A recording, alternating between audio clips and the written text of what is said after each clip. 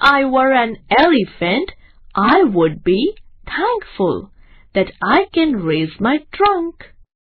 If I were a kangaroo, I would try to hop right up to the moon. If I were an octopus, I would be thankful for my eight arms.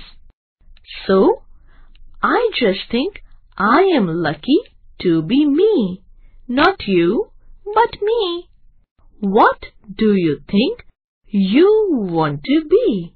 Do you want to be like me? Or just you? Just you.